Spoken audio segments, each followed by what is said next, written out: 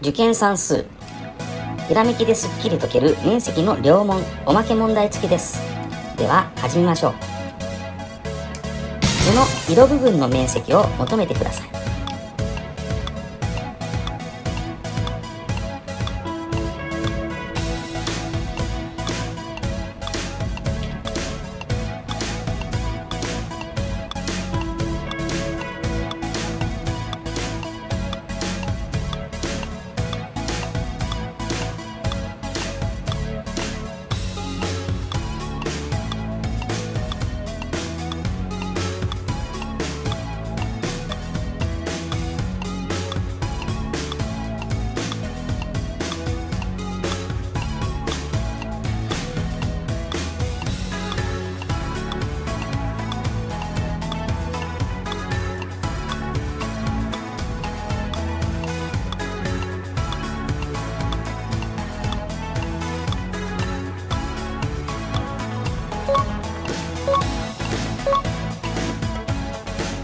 では解説します。不要な線を消して上図のように等積移動します。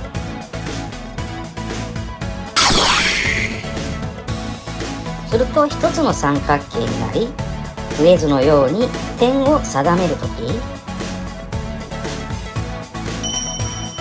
三角形 ABD 対三角形 CBD は2対3なので色部分つまり三角形 ABC の面積は上のようになり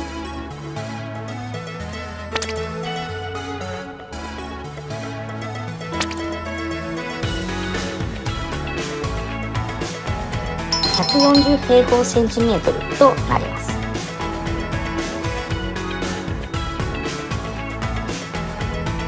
おまけ問題。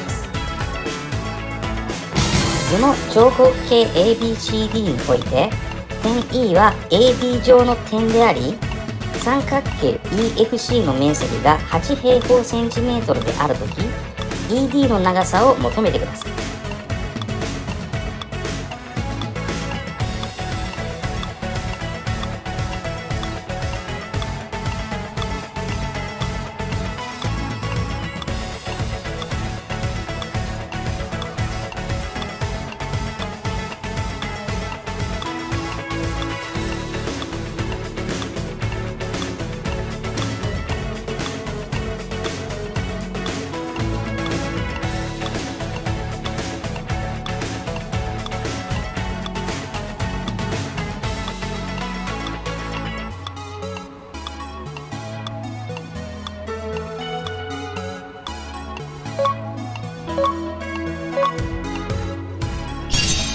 この問題が解けた方はコメントをお待ちしております。